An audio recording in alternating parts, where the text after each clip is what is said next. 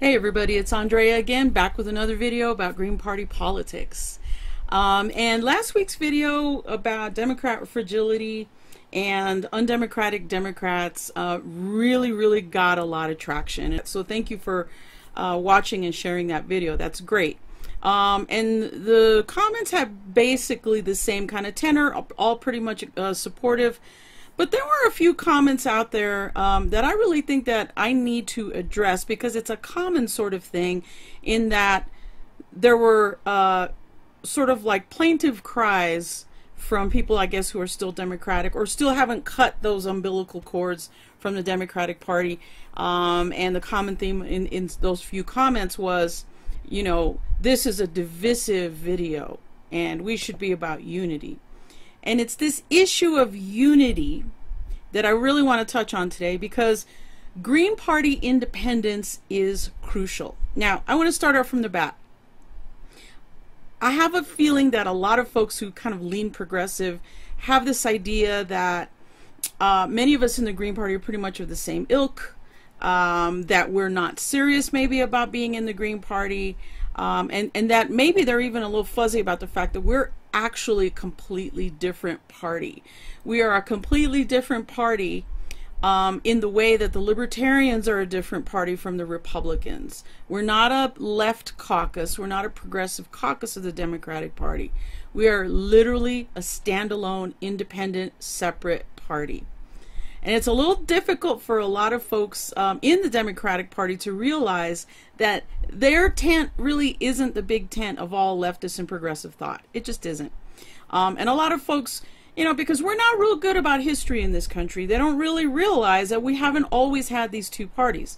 There have been other parties. Um, there's been workers' parties. There's been socialist parties. In fact, Eugene Debs, back in the, the turn of the 20th century, was a presidential candidate who was in prison for one of the socialist parties. He was their candidate. You know, of course, there was the Whig Party back in the day.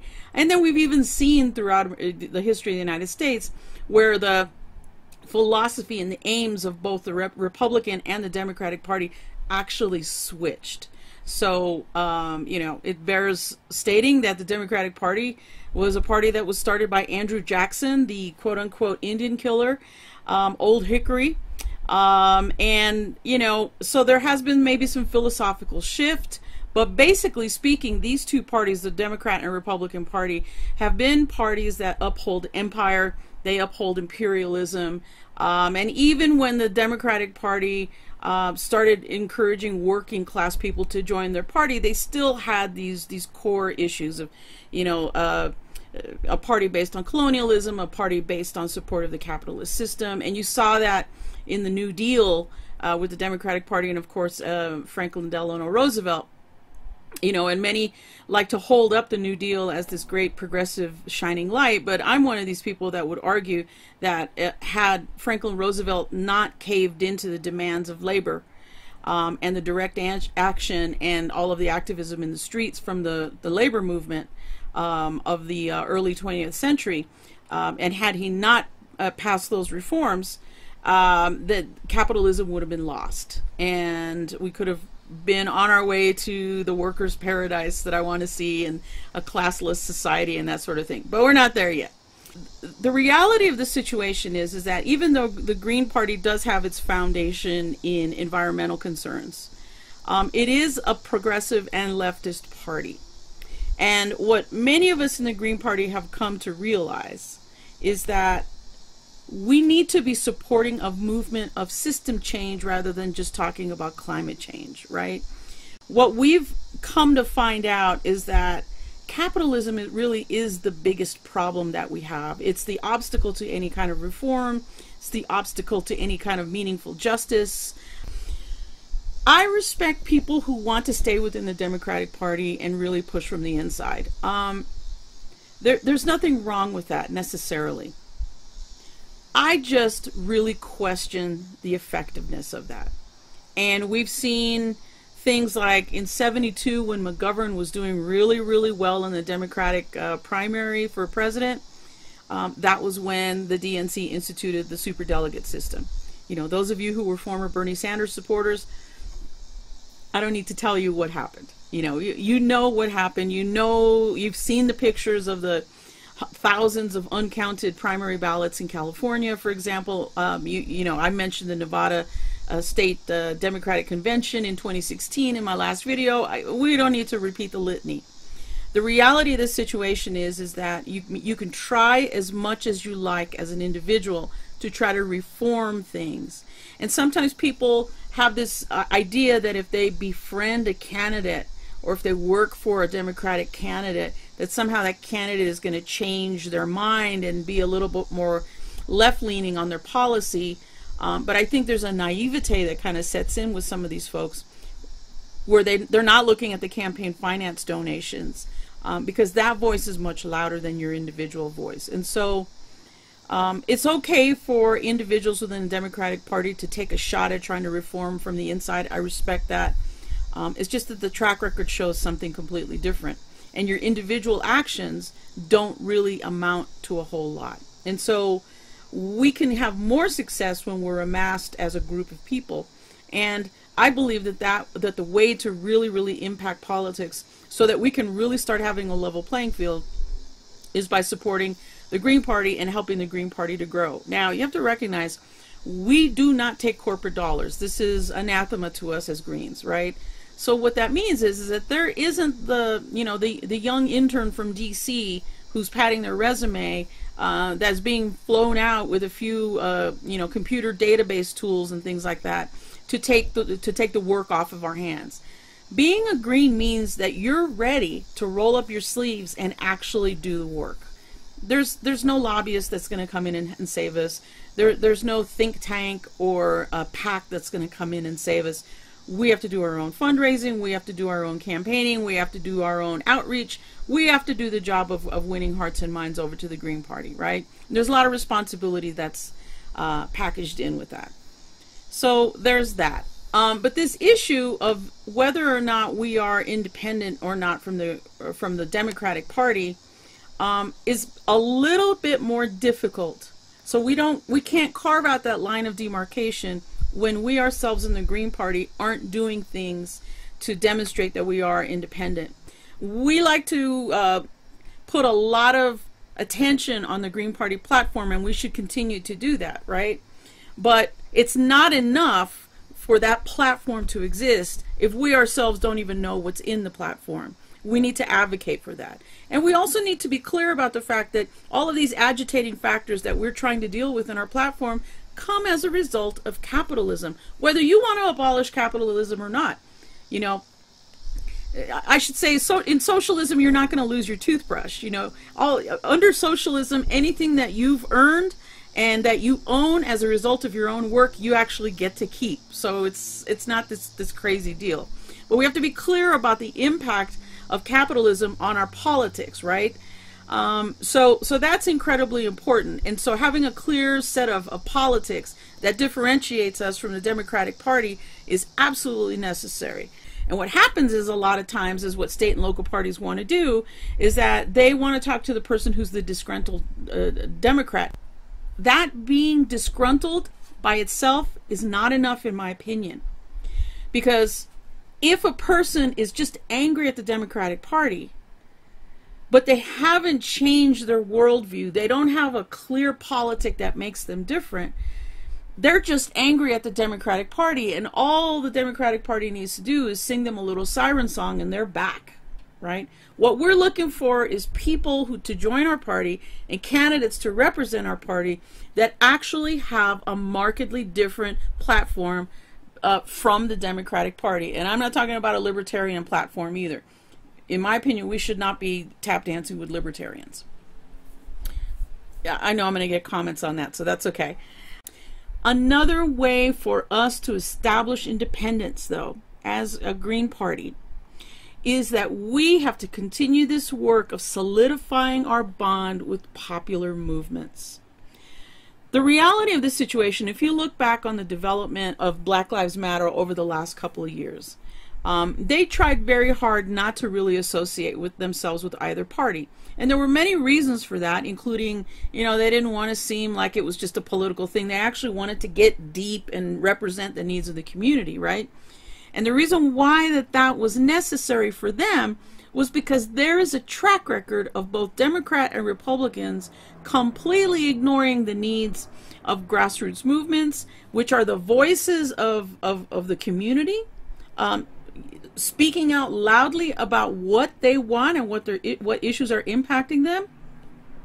And if they do intersect with any of these movements, they will co-opt it. They um, will be very superficial with it um, and be be very dismissive with it. You know, you might remember. Um, I think there was a fundraiser in in South Carolina in 2016 where Black Lives Matter activists actually bum rushed a, the Hillary Clinton uh, fundraiser, right?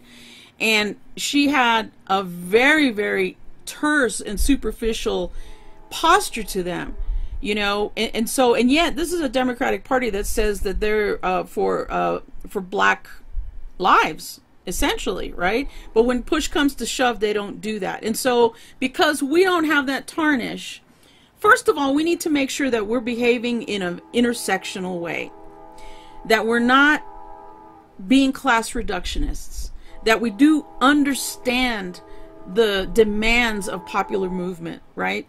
And that we're putting aside any of our own kind of internal residual oppressions that we may be transmitting. And we've got to really be honest about what we got going on inside because those popular movements, by and large, are not hooked up with the Democrat and Republican Party, right? So we have to be very, very clear about our support for those popular movements. We need to make sure that we're showing up.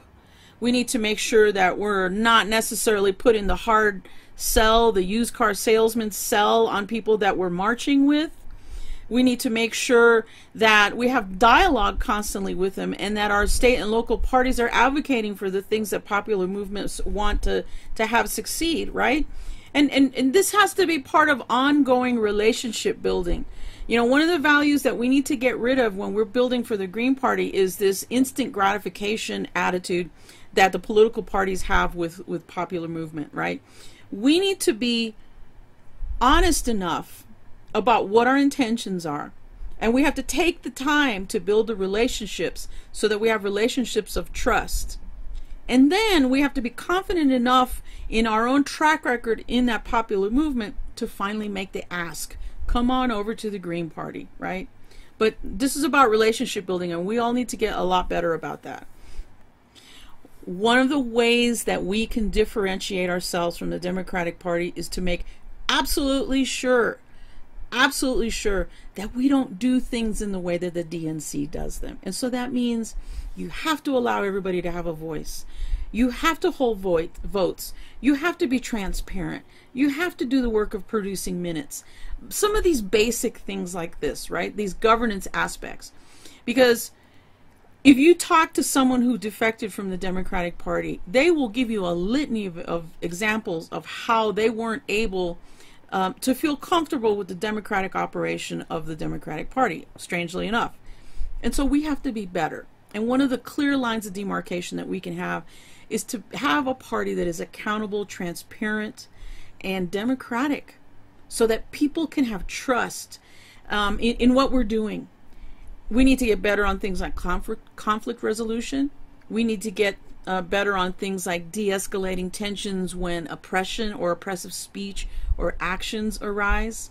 We need to be very clear about the fact that we're not going to be just about inclusion and equality, diversity in name only, but we need to make sure that our locals and, and our um, state parties are places where people from um, oppressed communities feel comfortable being themselves and speaking their own truths. Um, and that is markedly different from what goes on in the Democratic Party. Here in Denver, we had a, a congressional candidate um, who uh, went up against Diana DeGette, who's a 25 year incumbent in Congress. And um, she she actually wrote a letter at the beginning of her candidacy that she was breaking up with the Democratic Party. Um, ran, um, had a very short campaign, five uh, five month campaign. Actually got like a third of the vote, which is actually quite quite good for Denver um, in that short amount of, of, of time. but now is going through this process of she's being very very honest about the the, the prejudice and the bias that she encountered from Democrats who would tell her you know and I should point out that she is of South uh, South Asian origin I believe she's Indian um, and so she what she was encountering uh, from white Democrats who were affluent in backing this congressional candidate that she didn't have the right to run. And she wasn't qualified. And she wasn't professional. And you know Toni Morrison uses a phrase called race talk where people are not actually being racist but they're alluding to things that are part of the racist milieu and and so um she is not welcome in her own party right we need to be clear as a Green Party that we are markedly different than that. That our state and local parties are places where people from oppressed communities can feel safe and be honest and be themselves, right? And can be honest about their truths, as I said earlier. Because, you know, we need to look at this as, as, at the, as the way that the old Wobblies used to look at struggles. Your struggle is my struggle, an injury to one is an injury to all. Because our job of Green Party is to go through and collect up all these people who have been sold out by the Democrat and Republican parties, right? And gather them up so we can build collective political strength and have some uh, some real change around here. And so it doesn't do if we're not dealing with internalized oppressions, if we're still using problematic language, if we're still allowing certain people with uh, with privilege to dominate discussions and to shout down other people. So we need to need to do a lot of policing of our own internal stuff, right? And we also need to get about the business of a comprehensive political education program. You know, first of all, a lot of people around the country don't even know that we exist as a party. And then when they join us, and this is impacting our independence as well, they just kind of figure we're sort of like the more progressive people of the Democratic Party. No, and as I keep saying at the beginning, um, you know, we are a party that recognizes capitalism as a problem, whether you're actually a socialist or not. We recognize that capitalism is a problem, and so you need to have that conversation with people. Um, so we need a comprehensive political education program that helps Greens understand how different we are from the Democratic Party.